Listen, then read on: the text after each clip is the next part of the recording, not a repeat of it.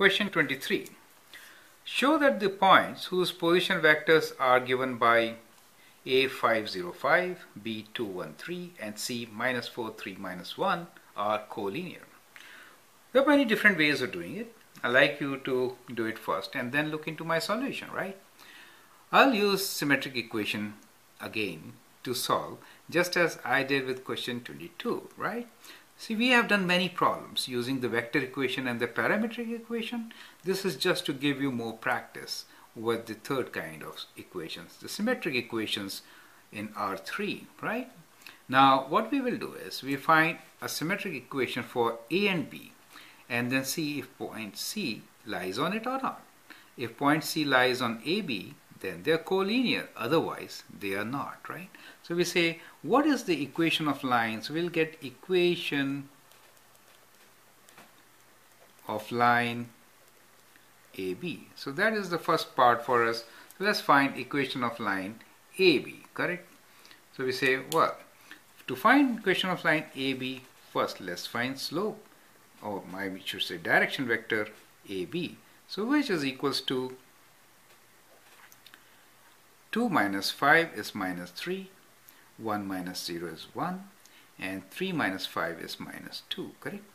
Now we can write down the equation. Equation should be x minus 5 over minus 3, correct? Equals to y minus 0, correct? Over 1, okay?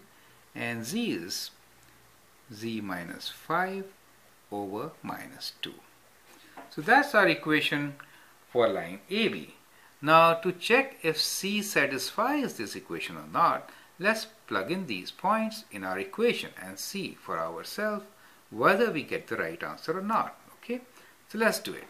So for x we'll write minus 4. So we'll write minus 4 minus 5 over minus 3 is equal to y is 3. So it is 3 over 1 and z is minus 1. So minus 1 minus 5 over minus 2.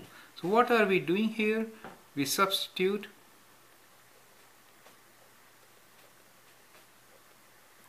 C, right, which is minus 4, 3 and minus 1, correct? Now once we do it, we get minus 4 minus 5 is minus 9. Minus 9 divided by minus 3 is plus 3, so we get 3, right? Here we already have 3 and here we get minus 1 minus 5 is minus 6 minus 6 divided by minus 2 is also 3. Do you see that? All are equal, correct? All are equal. So this point C lies on line AB. Do you understand? So that is the approach which we followed and that's how beautifully we got our solution. Okay, have a good look at it. Thank you.